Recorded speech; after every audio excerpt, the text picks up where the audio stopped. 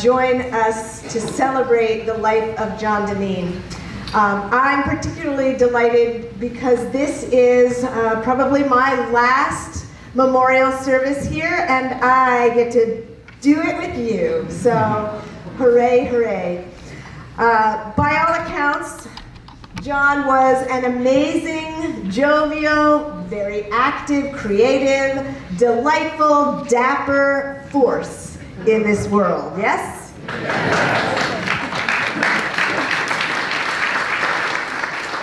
Today, we get to celebrate this amazing life. We get to sing lots of songs, music, music, music, of course. We get to hear stories and tell them even silently for ourselves as we move along. And we get to remember with great joy a life clearly lived in spirit and well. John's spirit is obviously here among us. And I know that those of you who knew him, I only met him a few times, but those of you who knew him clearly must feel that spirit in this, in this room and the energy. So before we get started, I thought it might be fun to see who's here. So let's start with family. Anybody who considers themselves family, would you please rise? Here we go. Popcorn style, they keep coming up. Raise your hand if you are standing.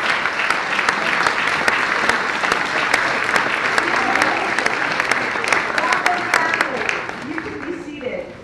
Okay, anybody who considers themselves a friend from the Nahant, please rise. Welcome, friends from Nahant. Please be seated. Anyone who considers themselves friends from Boston or Cambridge, rise. Welcome, Boston Cambridge.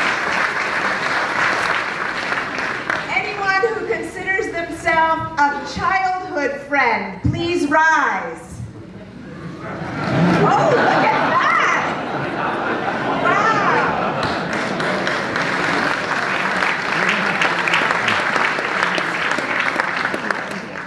Anybody who considers themselves a singing friend, please rise.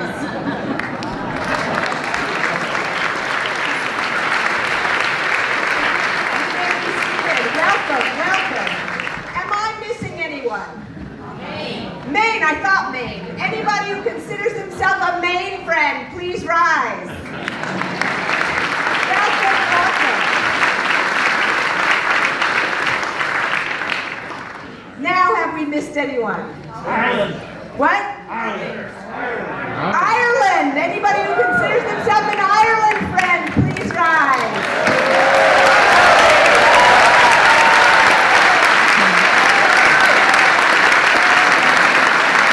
You may be seated. Thank you.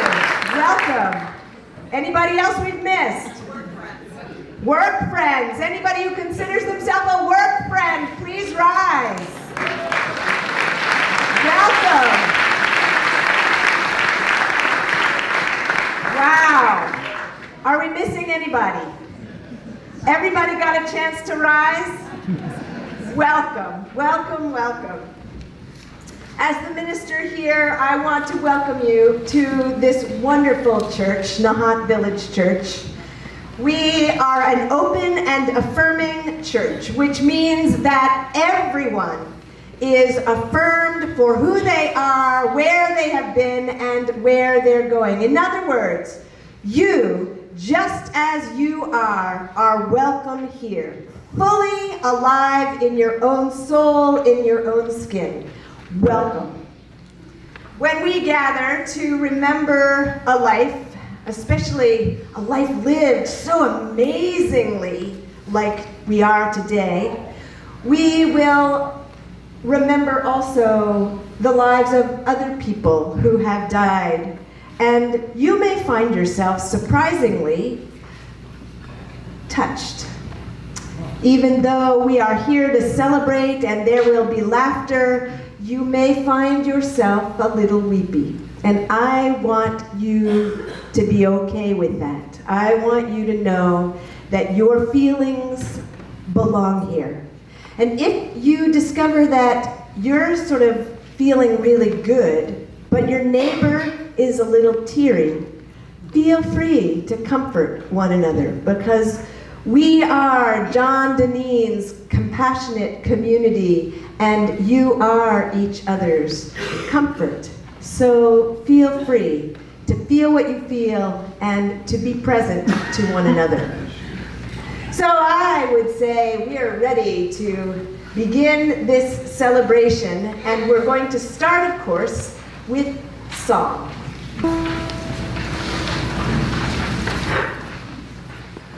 Good morning.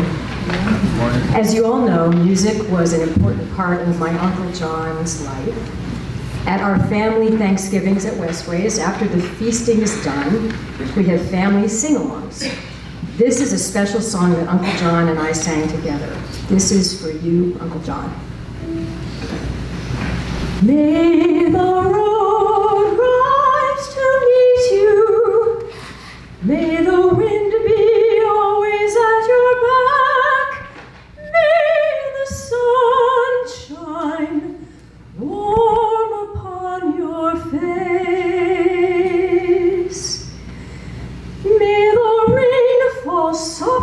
upon your fields,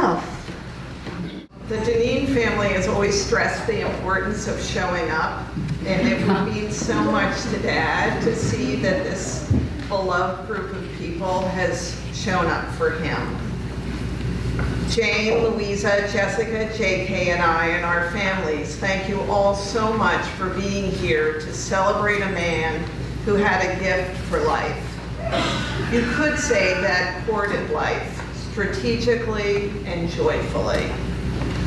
Jane and I came into his life not by birth, but in the same way many of you did.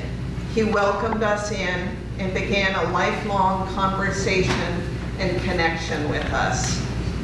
Our mother said that Dad was the only one of her, her suitors who had the good sense to court her, her children first.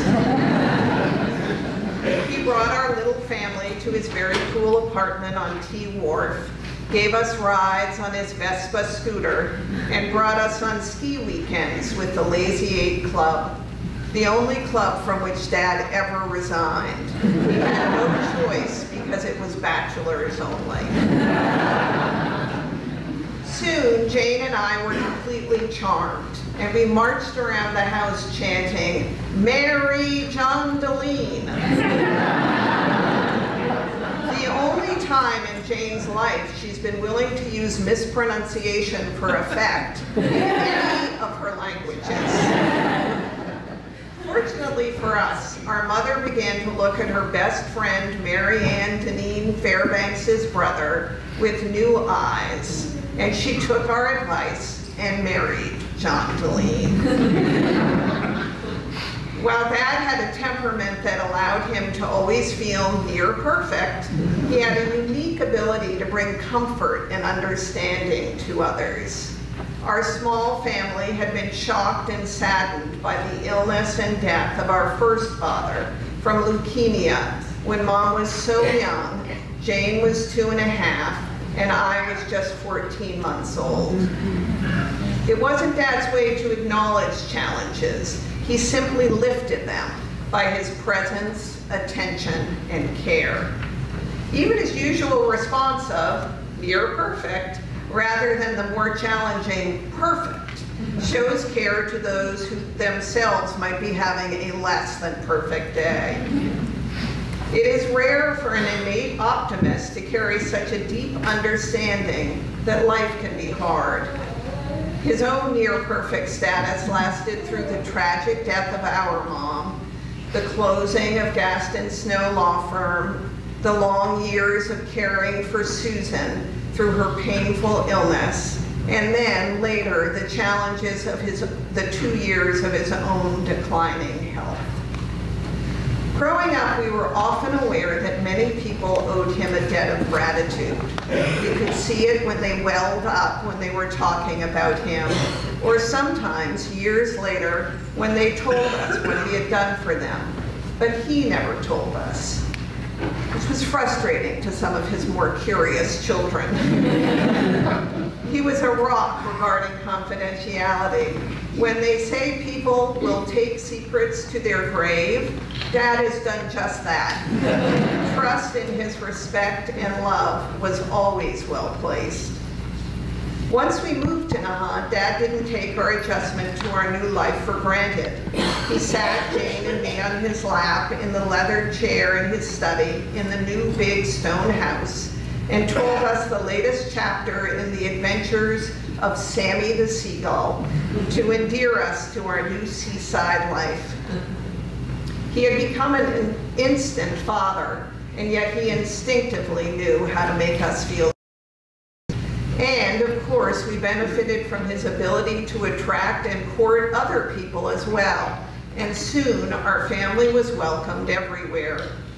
Nahant was small enough to feel like a sort of club, and every club he joined was improved by Dad's loyalty, affection, and sense of humor. How lucky my dad felt to live here, especially the past few years. While Susan was ill and later during his own illness, Dad had a remarkable record of retaining staff. And true to our training by him, we asked few questions in interviews about skill level. We simply tried to assess whether they would be a good audience.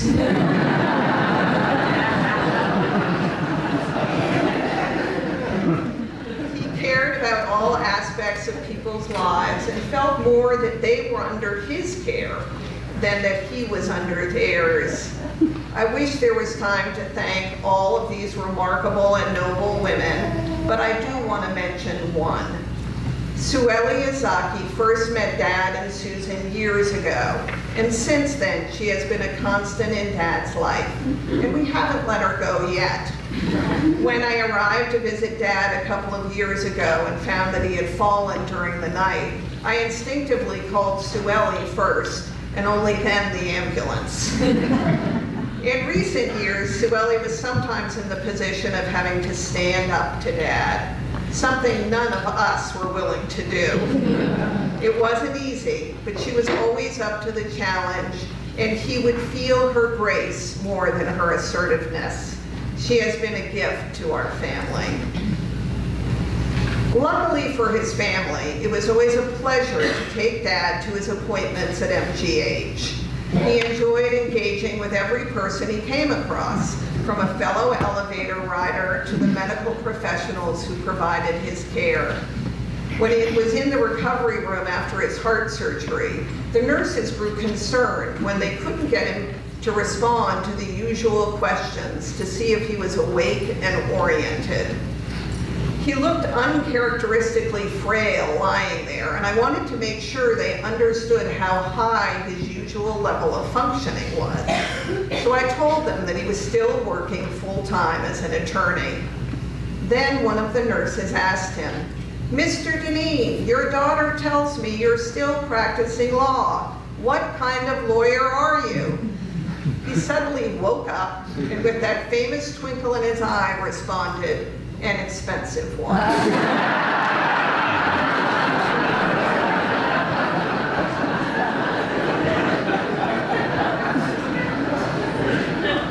the medical interventions themselves and the advice he was given mattered little to him. Probably because he already knew the secret to living a good life. His exercise bike was used as a clothing rack. Every trip to the, his wonderful doctor, Dr. Coley, which involved a review of the importance of good nutrition, was followed by a trip to Eat Street, the MGH cafeteria, and next to Kelly's, Dad's favorite restaurant, for a black and white frap and pepperoni pizza. He liked to quote doctors, but never about their medical advice. Once, when he was in his mid-80s and still remarkably healthy, Dad mentioned that he had been having trouble remembering people's names, a true crisis for him. Dr. Coley said, well, if that is all you have to complain about, I'd say you're doing very well. Most people your age are dead.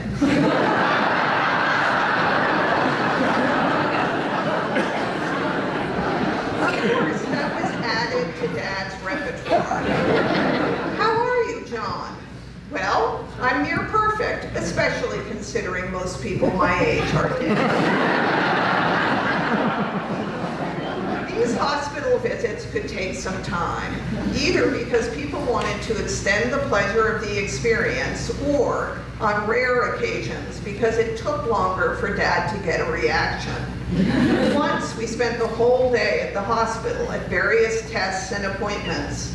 We had also visited, as usual, the Bulfinch Medical Office to look at Uncle Jimmy's portrait and chat with his former staff. Finally, at the end of what had been for me a very long day, we went to our last stop to have his blood drawn. Unfortunately, the phlebotomist was unresponsive to Dad's usual blood lab routine, which went something like this. How are you? Responding with enthusiasm from his wheelchair. Near perfect. What is your date of birth? 1 21 28. But we only have my mother's word for that because I was born at home. As they start to draw the blood, you won't find a drop of blue blood. Maybe green, but not a drop of blue. On this day, there was still no reaction, so Dad turned to me and said, tell him all the appointments we've been to today. After I recited the list, Dad finally got a reaction when he looked the phlebotomist in the eye and said, so now we're all done, except for building the casket.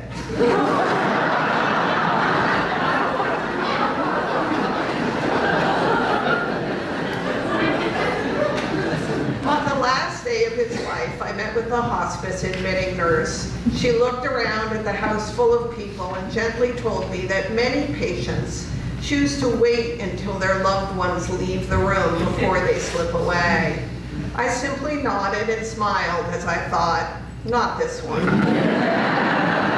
After he had gently passed away, Louisa said she had counted 15 of us in the room with him. It was a fitting final scene for someone whose original career ambition was to be a tap dancer with the stage name Danny Dineen. He loved an audience. The more the merrier was never as true for anyone else.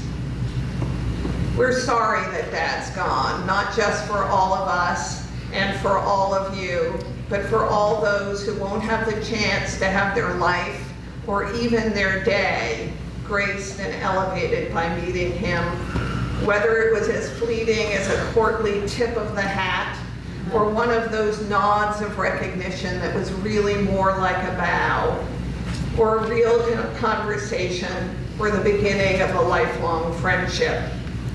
The good fortune that he came into my life the good fortune that he came into all of yours.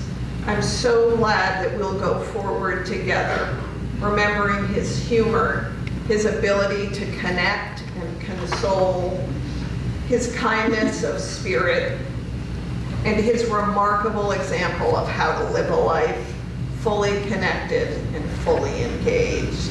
Thank you.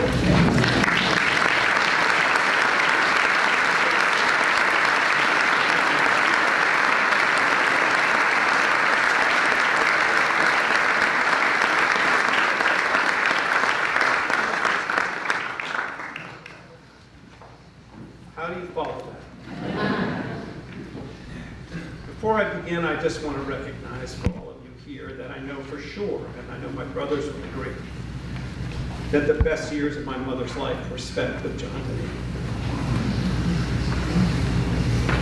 I'm not sure I can add much to what Martha has just delivered. Indeed, I've had the privilege of being with her as she worked on what she wanted to say to us. Once she settled on her last draft, I copied it to my computer, and I've started several of my days recently by reading it. Doing so has made me sad, because it's hard to think that Da, as his grandchildren called him, won't be at all the customary places we have reliably found him, defining by his example, as Martha said, the importance of the simple act of showing up. These places include one sacred to him and to many of us, there's Westways, of course, but more specifically the Granary, one of what I would call his living museums, where he placed a circle of seats and then surrounded himself with multiple artifacts, each of which told a story. My favorite one of these places is the garage at 40 Pleasant Street here in Nahant, where, once you navigated your way past his car and notably his green John Deere tractor, you would find two director's chairs facing out toward the yard with John plopped comfortably in one of them. It was as if he had always expected you to show up. Surrounding you on the garage walls were pieces of collected driftwood, a framed article by J.K., and notably for me, a picture of my brother Ted, taken when he was in Wyoming at age 15, wearing a cowboy hat with his long, thick hair spreading out upon his shoulders. That photo said to me that me and my brothers were officially a part of those he loved. In all these spaces, a third one being the shed that Rex Antrim built to the left of the house in Nahant, with a magnificent view of the ocean, the art, as he would call it, seemed eclectic and without any evident theme, but once you absorbed it and thought about it, you could see the point. Whether someone gave him something or he picked the piece out himself, each item in the menagerie of wall hangings connected to a person or a group of people. The theme, it was both simple and profound. If John knew you, you mattered. Whenever it was I was with a friend who was about to be introduced to Da, I would always highlight by way of warming them up for the experience, and to meet him was just that, an experience, that he would start the conversation and gently persist in it until, like magic, he found the person you both held in common. You could be someone from the networked world of Boston, or you find the connection it seemed before you had even introduced yourself, or from far outside the United States, and he'd find the relationship that made what was at the start two strangers meeting for the first time a moment of reconnection, a reunion between two long lost friends. It was a beautiful thing to witness again and again. Of course, in Martha's and my case, he took delight in the fact that he could untangle for anyone who wished to hear the story about how it ended up that his daughter had married his wife's son.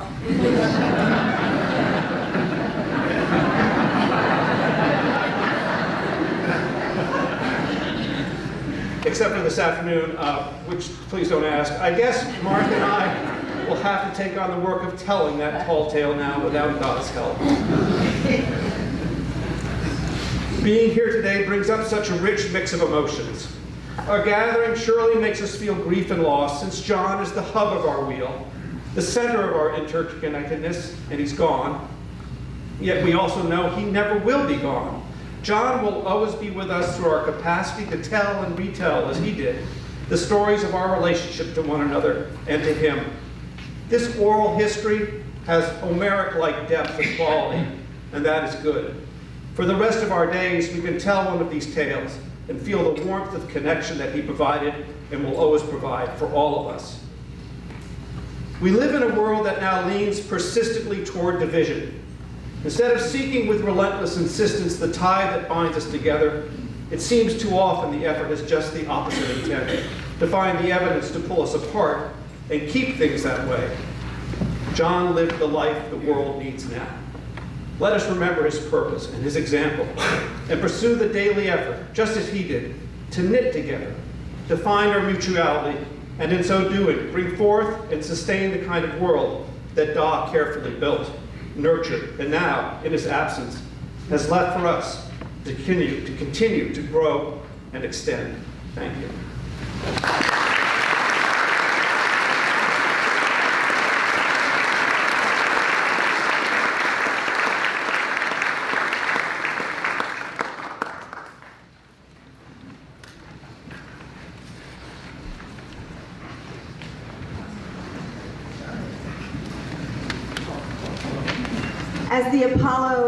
comes forward, I want to call attention to Flossie, who is here sitting in her wheelchair. And she was uh, originally the pianist and then the conductor for the Apollo Club since 1958. Is that right? Yes. So she's joined us today welcome.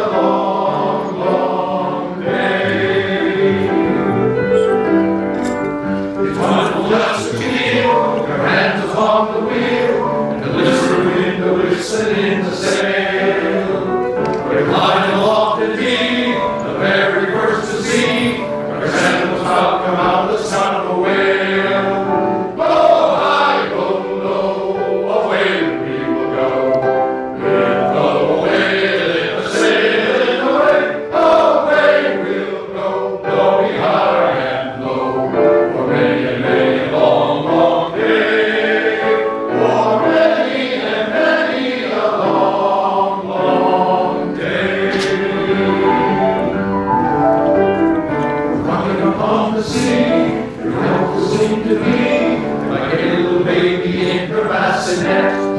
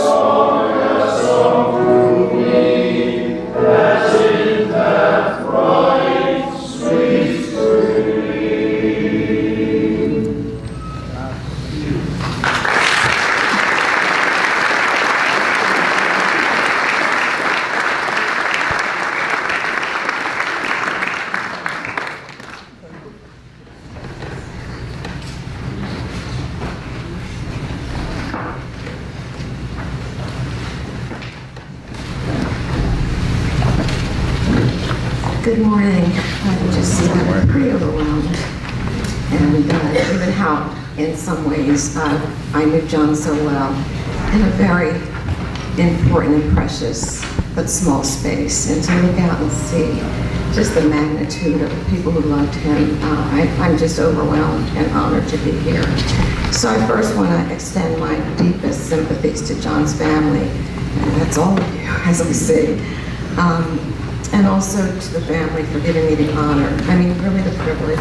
Thank you so much, Martha, and to all your siblings and your family for this. I was speaking on behalf of Cambridge College about John Dineen. At Cambridge College, uh, in a word, we all just loved John Dineen.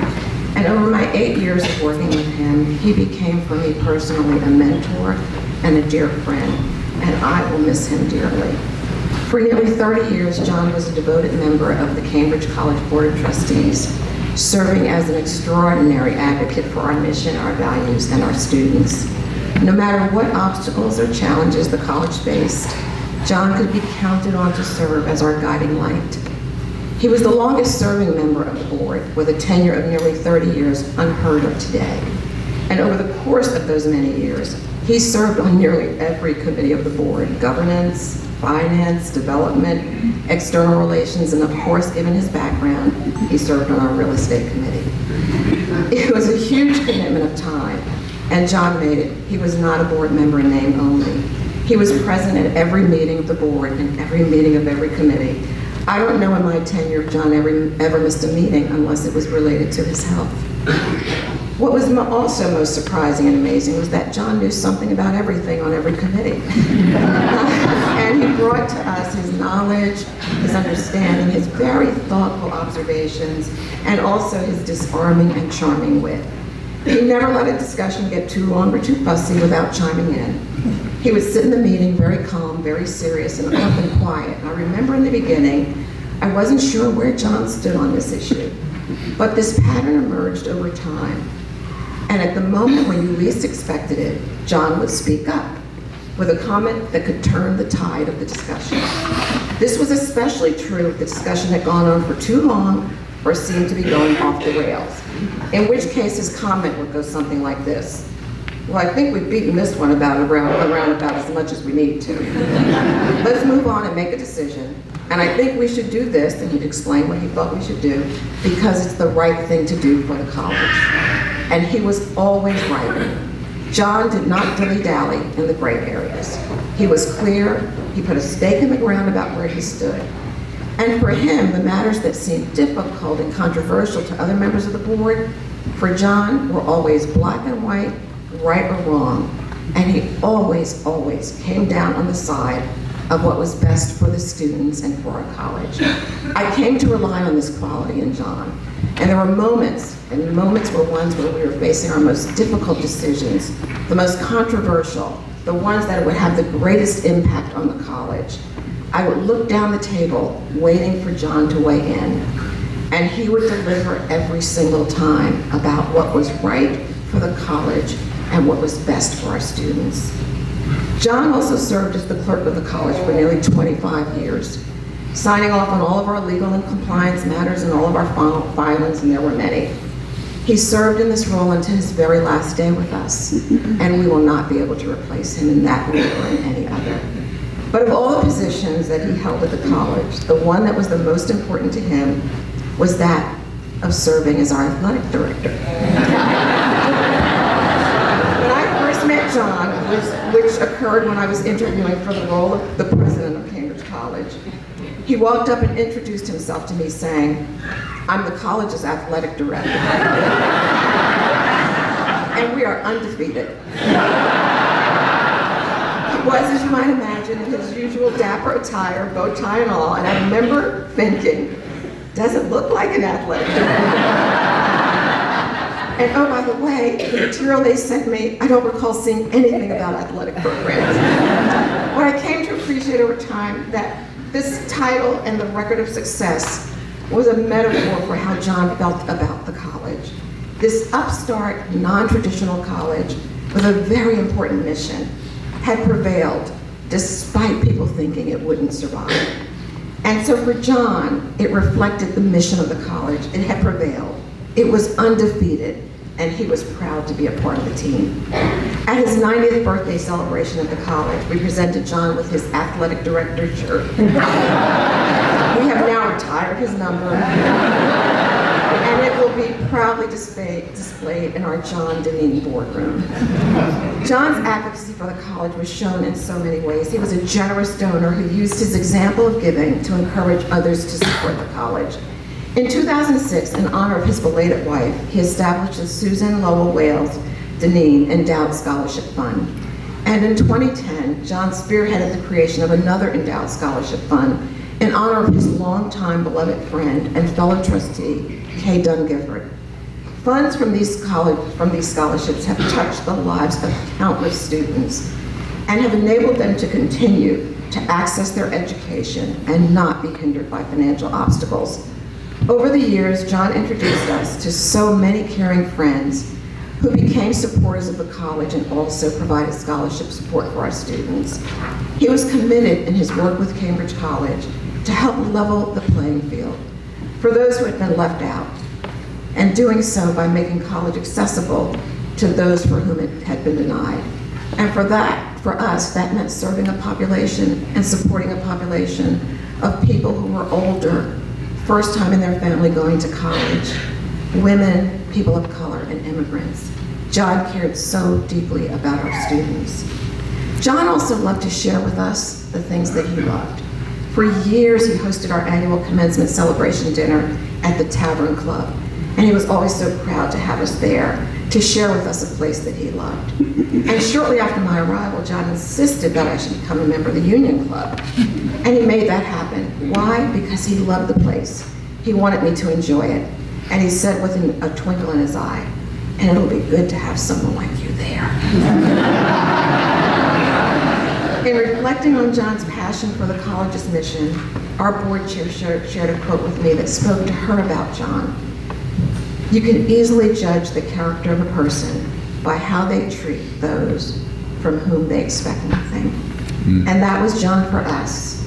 That was John for our students.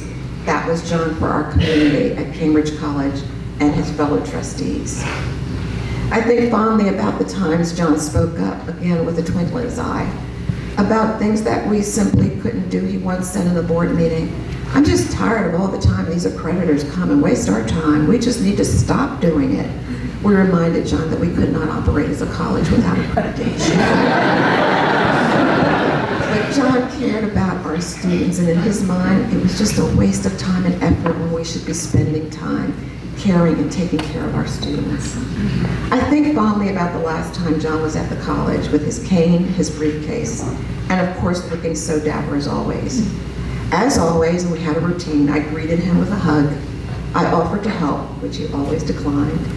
And I asked John, so John, how are you?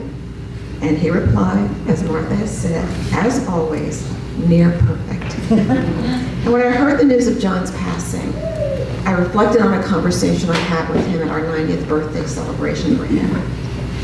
When we had that same greeting, the same exchange, and he said, near perfect. I finally said, John, why do you say that? You know we all think you are absolutely perfect. to which he replied, oh no, pointing upwards. When you are perfect, it means you are gone from here. So John, in saying farewell to you on behalf of your Cambridge College family, to you, John, our guiding light, our moral compass, my mentor and my friend, I ask you one more time, so John, how are you? And I hear him reply, I'm finally perfect. And I say back to you one final time, but we have always known that all along about you.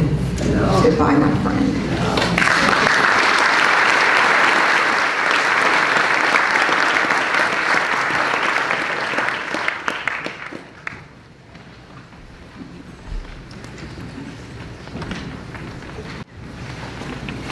we welcome the Tavern Club.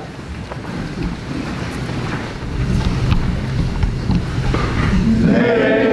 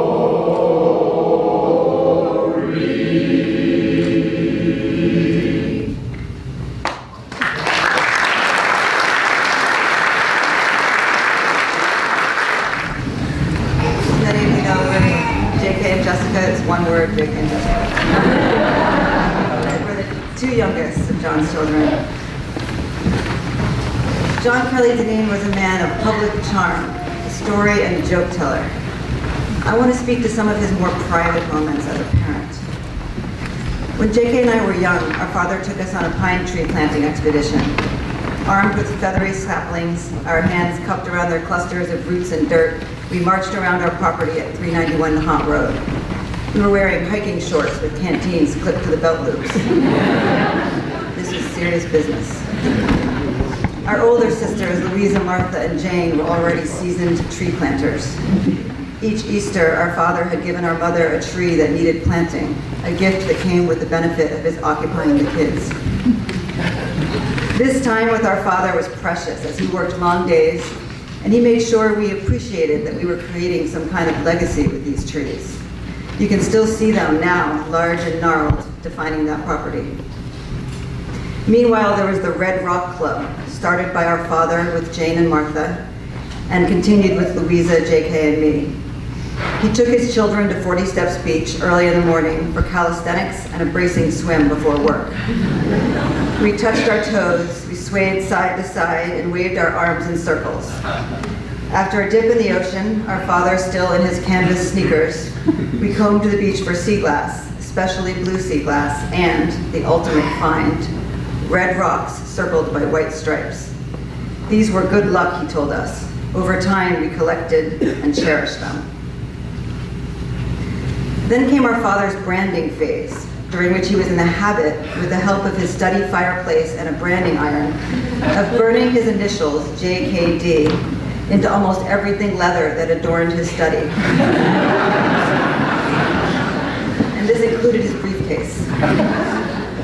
This was fun for us kids, but I was troubled. I had overheard one of our father's friends say that now my brother, JKD Jr., could inherit the briefcase when he became a lawyer like his dad. I got up the nerve to go to my father and complain. I might want to be a lawyer, I said. I was at the age when hints at certain limitations start to dig into a girl's life, and I wanted to stake my claim. My father went to his study, retrieved a gavel, and handed it to me. I think you should have this, he said. You could be a judge someday. Just like a well-placed sapling, that gift would take root. It would give me strength as I grew up and explored the world of work. In 1982, when our mother died, our father became a single parent. He was struggling under the sadness of losing his life partner of 22 years. His law firm was also struggling. He had trouble sleeping, and one of his refrains, say when I started skipping school every Wednesday, or when JK had a minor scrape with the law,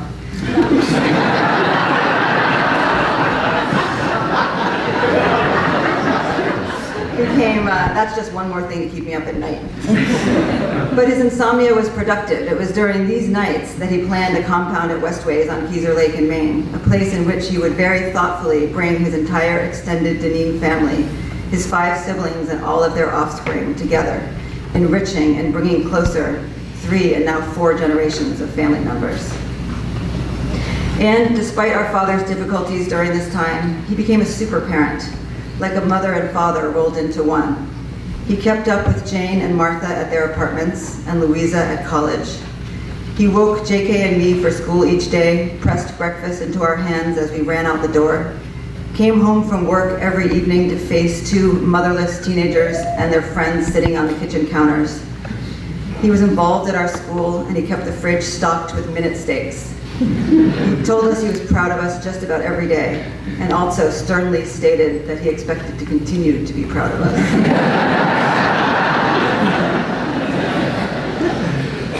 Not too many years after that, our father clipped a pull quote from the newspaper and taped it to the kitchen cabinet.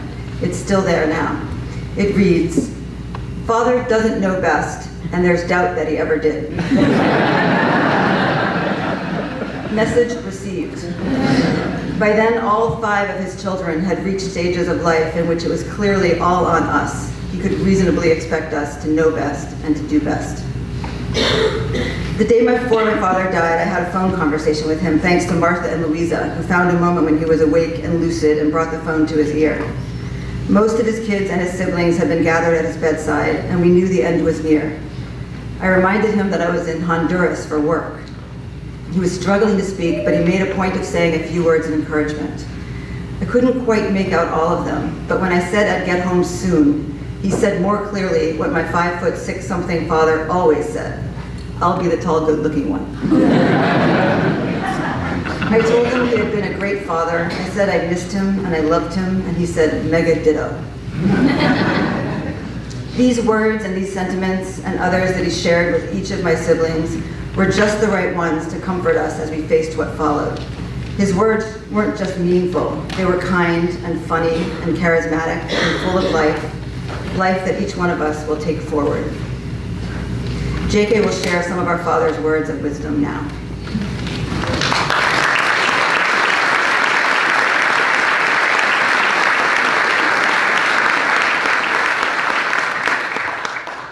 Um, my dad uh, had this had this um, fascination with telephones. Um, he loved phones. He always had new phones. Usually, he didn't know um, how they worked particularly well. And he was always getting the latest phone. And that when cell phones came about, he had a very early car phone, and then he had these big, massive cell phones. Um, living in California, I spent a lot of time on the phone with him. Um, when he would answer the phone, he would say, "It's the old man on Nahant." Uh, or he would say, Well, hello there, what planet are you on? um, he also uh, liked to talk to telemarketers, I mean, strangers in general. But somebody called to sell him a roof or a fence or insurance, he would first um, stop them and say, excuse me, is this about trying to save me money? And they would say, well, absolutely that's what it's about. And he would say, well, if there's one thing I have too much of, it's money. and he would, uh, he would, he would proceed to, to talk to them, um, make, making their afternoon very unproductive. Uh, would, talk to them um, for five or ten minutes, and by the end of the conversation, he would have known where they grew up and, and you know what they would, wanted to do with their life, uh, besides bother him on a, on a Saturday afternoon. Um, some of his other pieces of advice um, were join every singing group you can, um, which as you saw, that you saw a couple of his singing groups here. He always said that the Apollo Club was cheaper than therapy. Uh, he, um, he was full of wry one-liners. Um, at one time he said, my daughters would use a teaspoon if they wanted to dig the Suez Canal. Uh, about somebody else, he said he was good at everything, including making sure everyone knew it. he, uh, on declining an invitation to a party after reading about the guest of honor, he said, I don't think there's room for his ego and mine in the same room. um, he had a lot of uh, advice about money, too. Um, he said, don't make the mistake of counting other people's money. Um, to, the, to a mechanic uh, on paying a small bit of, at the, a small bit of small bill at the local garage in Maine, he said, what else am I going to do with all this money? um, and some of his other pieces of advice, he, he always said that he would retire when he found something better to do. And he also liked to say that he would take things up, like golf, when he was a little older. Uh, he said that well into his 90s. Um, he said, uh, finally, um, well, he said the secret to a long life, he said, keep breathing. Uh, and then when asked um, if he would prefer cremation or burial, he said, surprise me.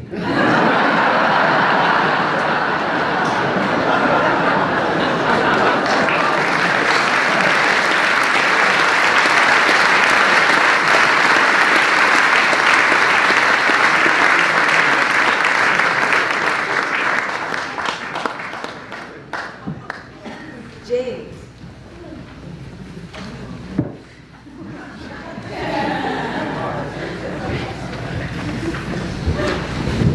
I'm Jane Shaw. There are a number of Janes in John's life. His beloved sister Jane, his dear daughter Jane, and I was a fond friend Jane. John's family chose this lovely short poem because it was his great favorite.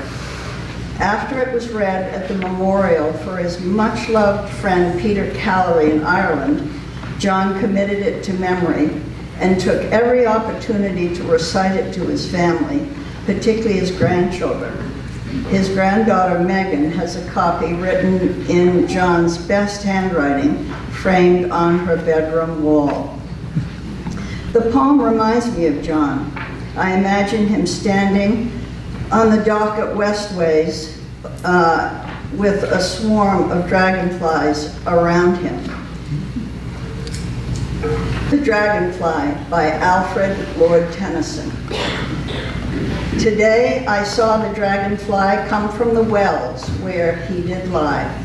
An inner impulse rent the veil of his old husk. From head to tail came out clear plates of sapphire mail. He dried his wings, like gauze they grew. Through crofts and pastures wet with dew, a living flash of light he flew.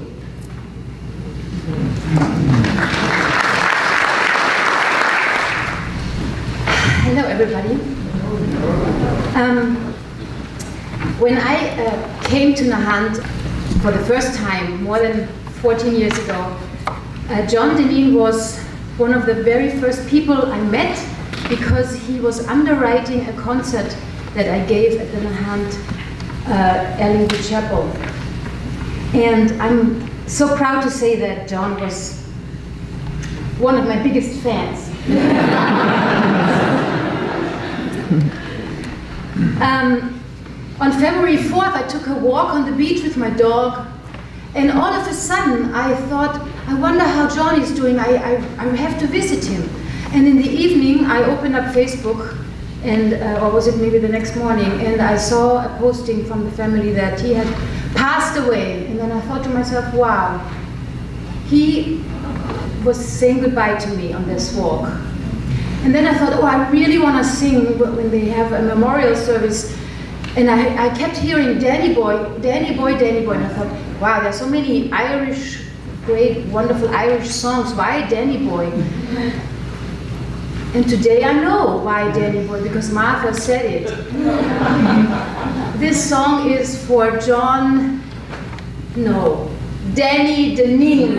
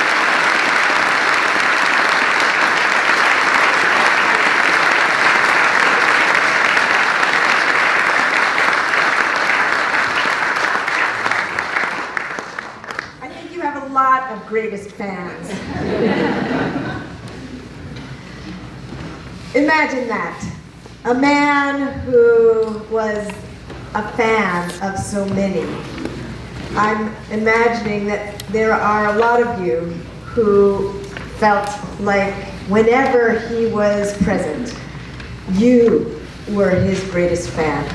I loved what Martha said when she said, he made sure that everyone knew that they mattered. You matter. As we go back into our lives today and on into the rest of our lives, trusting that today is the first day of the rest of our lives, it would be a challenge, but a really good John Dineen challenge to trust that you actually do matter. That you matter to the people that you meet, that you matter to your families, that you matter in this world in which we live, and perhaps most importantly for some of you, that you matter to yourself. Because it sounds to me like John Dineen wanted to be sure that you knew how important you are in this world, how important you are. You matter.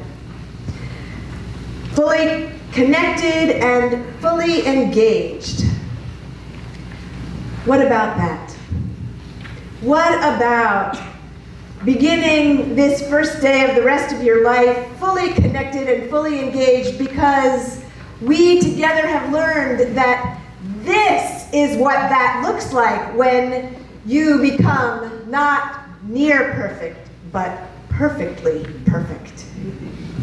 Fully connected and fully engaged, and now perfectly perfect.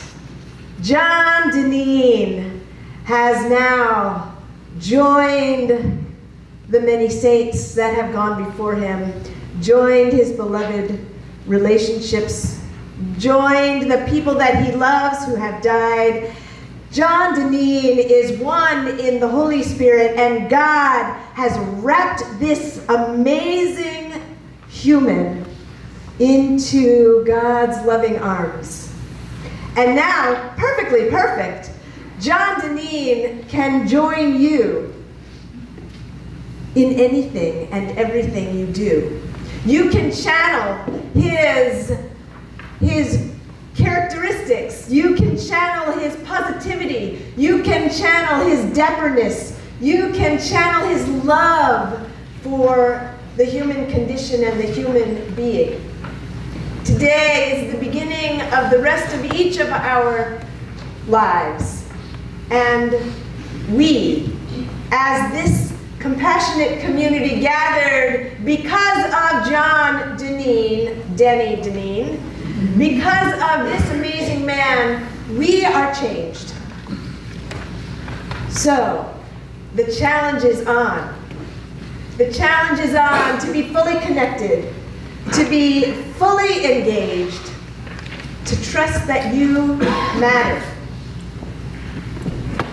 Simply the act of showing up may be all that you have to do to be fully you and fully alive for this world.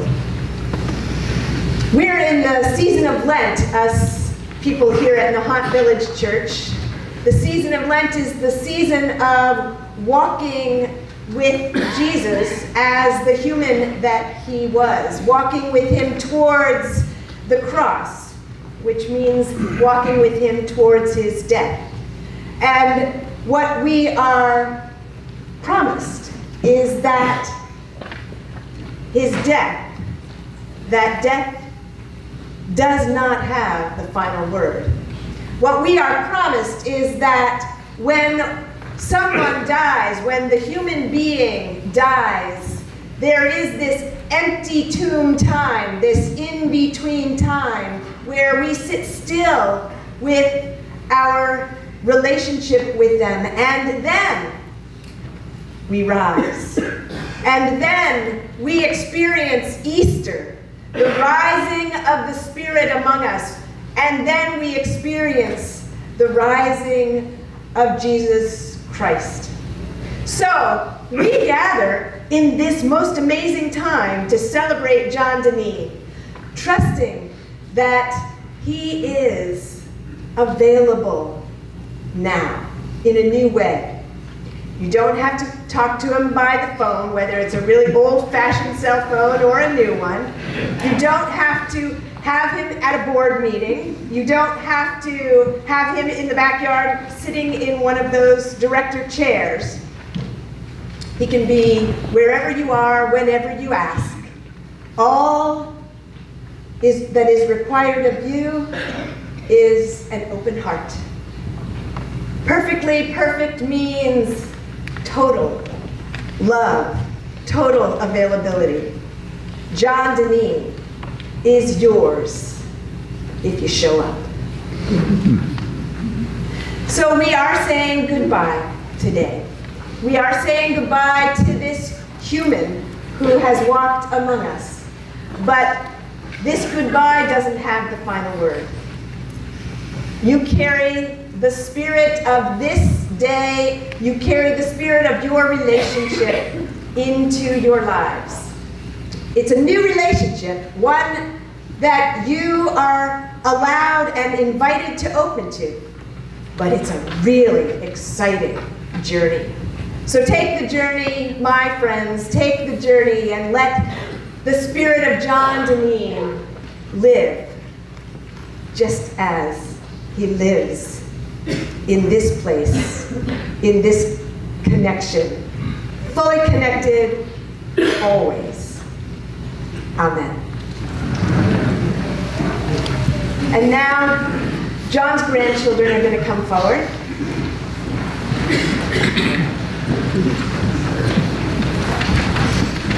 Of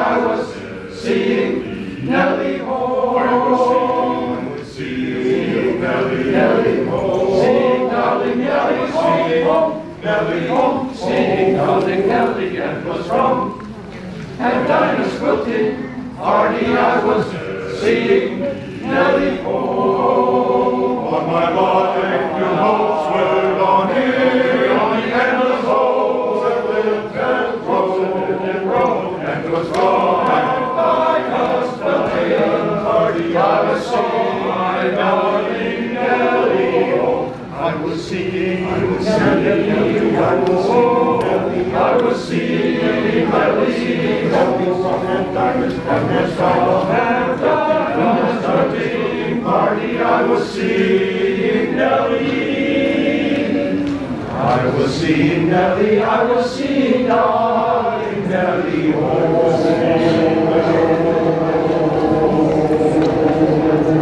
you.